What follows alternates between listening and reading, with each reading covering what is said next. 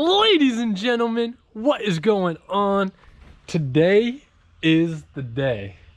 We're gonna start tearing apart Kyle's bike. We have the upgraded controller, the motor, and his battery. We're gonna start tearing this thing apart pretty soon here. We've never done it before. We've looked up a couple videos on how to do it, but we are not 100% sure. Hopefully, as this video goes on, it's gonna go smooth. I don't think it's gonna be too bad. It's not too many bolts. I really think this is gonna be a super fun process. I'm personally super excited about this. I love getting into things like this. It's a fun little project, you know, just to keep us busy. And I know Kyle's pumped about it because his bike is going to be a beast. For now, unfortunately, he's still waiting on his tires. He's going to be upgrading these bad boys to 19s and he's still waiting on his front forks. So once he gets those in, we'll have another video installing those, going through the whole process and what you got to do, you know, to replace those parts. For now, we're going to stick to the motor, controller, and the battery is self-explanatory. But I'm super excited about it and we're going to get to it. First things first, we got to get this bike flipped upside down. That way we can take the controller off and get up underneath it. It's awesome. Let's get this thing flipped up. Pull the back brake and pull it up and it'll push you over. Let it out a little bit. Mostly don't want to crush the. I'll try to pick the back up.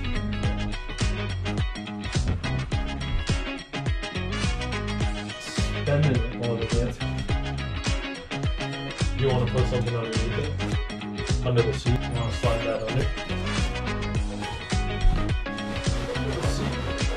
And just do it right up under the seat. Perfect. We did. Four So it takes a four millimeter. We're gonna go ahead and take these four bolts off. I'm not sure if this holds the controller on or if it's just a plate. Bring you in. We got one, two, one here, two here. And then I'm not sure Oh, we also if gotta we need off? these two. Take- take okay, we also got to take off this. Um, that's going to help us get to the motor when we go to take that out. So we're basically taking all this stuff off and putting all new stuff in besides this. So let's get it. All right, Was it five? so for these bolts here that Kyle's working on, here and here, two on the other side and one here, these are a five. So we got a five and a four. Kyle got all the bolts taken off for this. And when you take it off, this is what you got underneath. Now, after taking that off, we notice that there's also two Phillips heads right here. So we're gonna have to take those off. These are definitely coming off as well. I believe there are three, but I will double check and make sure. So we got four bolts that are a four. We got four bolts that are a five. And then we have these two Phillips head. So while Kyle was taking this apart, he noticed that this clip actually gets held in by that bolt. So don't miss that when you put it back on. Gotta get Oh. these ones. Yep. Those look like fours. So after you flip the controller upside down, you can see underneath you have these connectors here that you have to take off. They're all fives. So Allen key number five.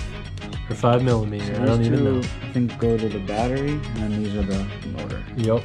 Yep. These three go to the motor here. Yellow, green, blue all go to the motor. The red and the black go to the battery. So after you get the bolts out, make sure that you don't lose your lock washer and your washer. Each bolt has two. So make sure you don't lose those. I'm just gonna screw them into the. So Do one for now. that's a good idea. There's two. Yeah. There's two Allen keys in here. Two Allen keys back behind. Yep. Where the batteries. They look like fours. So there's one here, one here, right in where the battery sits. You want to take those out. That way we can get this piece off and free up this cable right here. Guys, I did forget to mention before we're switching out this controller, Kyle went ahead and tried the bigger battery, uh, the Sur-Ron battery, in this bike with the stock controller, and it gave you a little bit more top speed. I have heard on a couple different places that it's not very good for the motor. Um, Kyle also did some research and he found out that the 72 volt is the one that fries the motor. So if you want to go ahead and risk it, go ahead and risk it. Get the bigger battery, get more time, and it goes up to 39 miles an hour instead of like 34 top speed. Now that's on the bike speedometer. That's not on GPS. That's on the bike speedometer. So it might be a little less, but we never got these things over 36 miles an hour downhill. 36 was our top speed we've ever gone on these, and this thing went 39 with the bigger battery.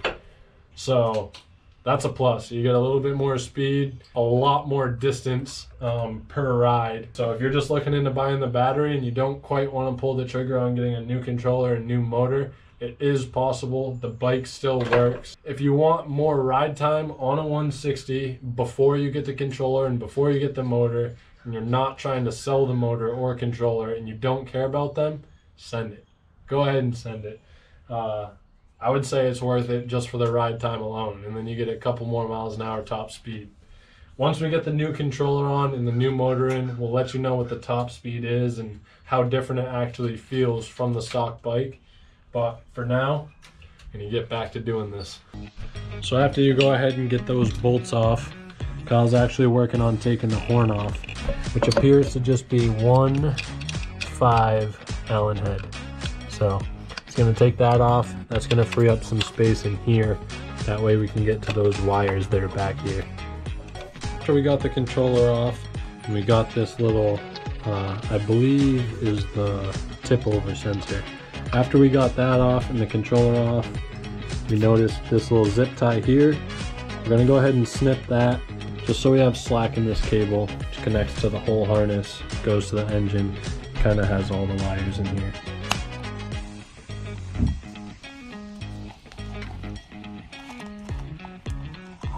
It's a sweet cover.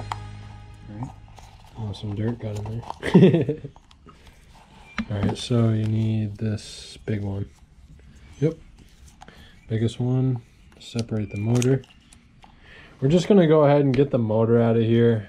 This is giving us a hard time trying to get these clips disconnected while being underneath there. So hopefully this frees up a little bit of wire and a little bit of play. So we're gonna take this bad boy off. And unbox the new motor. See how she looks. Yes,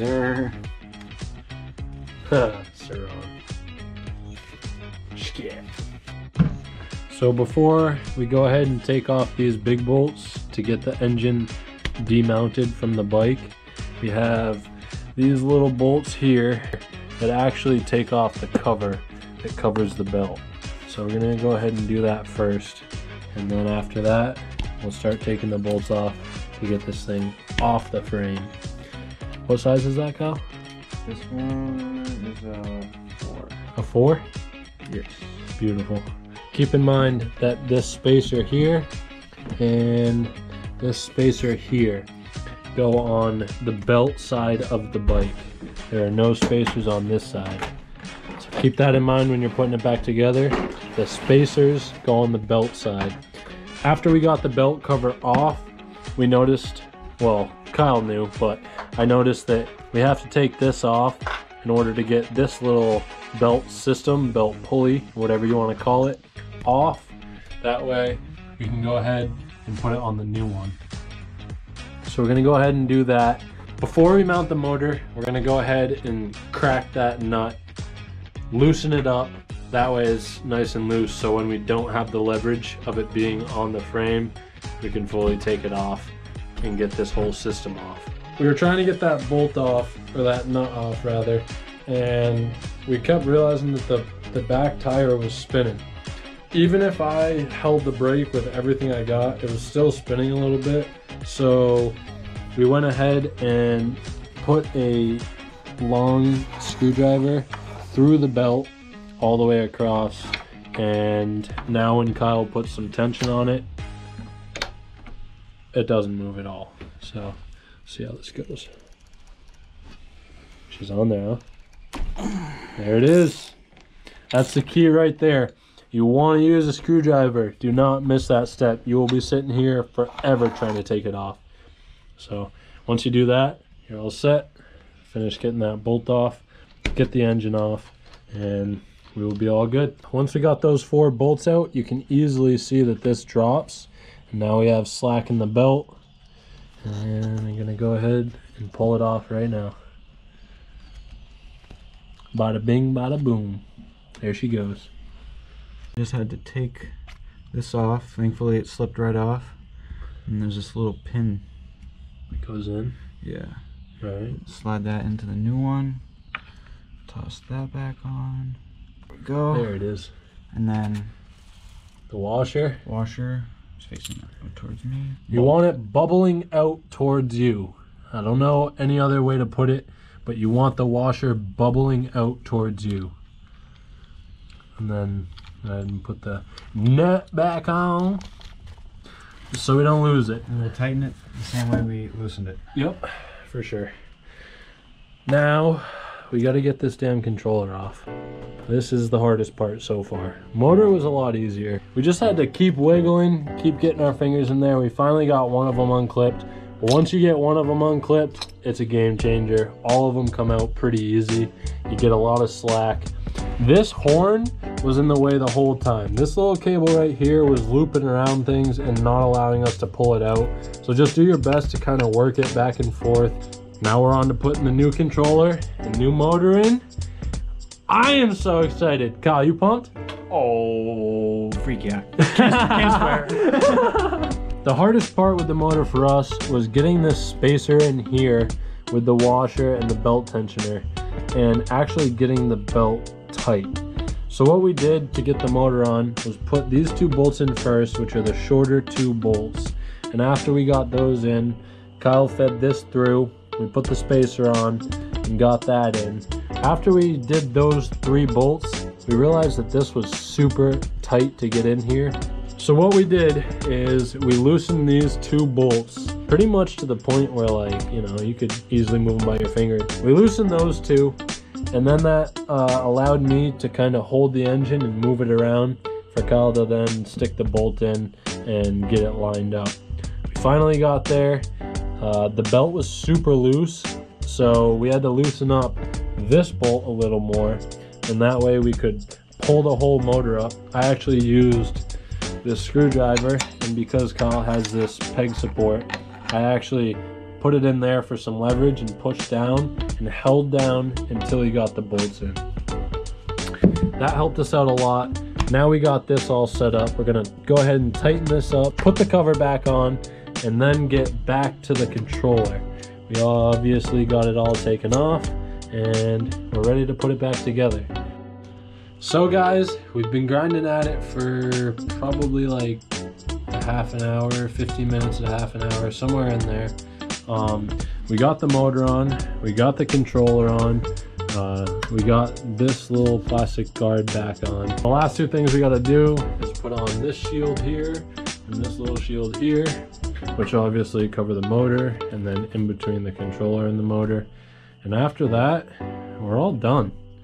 I, I honestly can't believe that we finally got this all figured out. It was honestly tons of fun.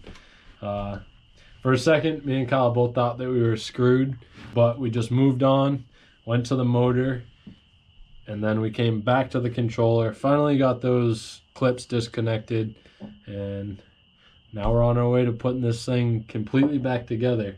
After we get this thing back tidy, put back together, wires exactly where they need to be, we're gonna take a quick uh, rip down the road and see how fast this thing goes, see what the torque's like.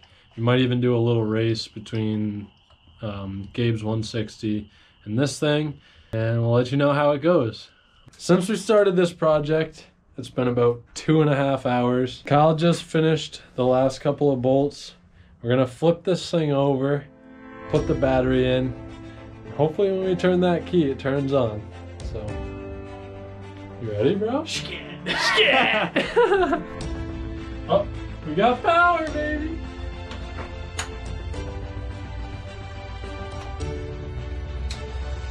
There. You're on. Let's go. Holy shit. All right, let's go try it, dude. What is going on, guys? It is now like a week later, and the reason why I don't have footage from the other day is because when we took this thing out after putting it together and we went down the road and tested it out, it was way too dark and you couldn't really see anything. So I am back now. Um, this thing works great. Um, it takes off from the line so much quicker. Uh, absolutely smokes the 160. And this thing keeps up with the Talaria off the line. We both neck and neck if we were gassing it. We haven't quite done like a straight um, drag race, but in the trails and everything, we're right on each other's back. So it's definitely much faster, definitely much torquier and way quicker. Um, and gets up to that top speed super, super quick. The problem that we did run into is when we first went and tested it, he was topping out at 26 or 25 miles an hour and that is because now the bike cannot connect to the Bluetooth that it has. So we actually had to go into the harness for the bike and cut a wire. I'm sure a lot of you guys know this about the Sur-Ron, but um, on the 160, you actually have to cut a wire that is up underneath here. So instead of taking the whole bike apart, I'm gonna show you where you cut it from the connector on the controller, but remember, you actually don't cut the one on the controller. You cut it from the harness on the bike. If you look right here, you got three connectors coming off of your controller. And there's a small one, and then there's a bit of a bigger one, and then there's this like rectangular shaped one. This is the guy that you're gonna wanna go for. There's a green and black wire right here. Not too sure how well you can see that, but this green and black wire you're gonna wanna cut that from the harness on the bike. Once we cut that, we got up to about 36 miles an hour, 36, 37. Um, but he did go ahead and put the 19 inch wheels on this bike. So the speedometer is now not 100% correct. We are going to do a comparison for you guys using GPS trackers. So obviously you will know the legitimate speed and yeah, we're going to compare it to the stock 160, the Talaria, and the Sur-Ron. So we'll have like a whole cool comparison video for all four of these bikes um, that we'll just cover in one video. But until we get that all said and done, I do have a couple videos of us ripping on the trails. And yeah, that's about it. So just to reiterate, you want to cut the black and green wire that connects to this connector, the rectangular one, not the square, but this rectangular one. You'll see it. It's the only connector that even has a black and green wire, so you can't really make that mistake. Let me just double check for you. Yeah, this one doesn't have black and green. So you can only really cut it from this one connector. You're looking for the green wire with a black stripe in it. And remember, do not cut it from the controller cut it from the harness inside the bike over here. That about wraps it up. Let me know what you guys think down below. Uh, drop a thumbs up if you enjoyed the video. And remember to hit that subscribe button if you want to keep up with our journey. So, until next time, guys, peace!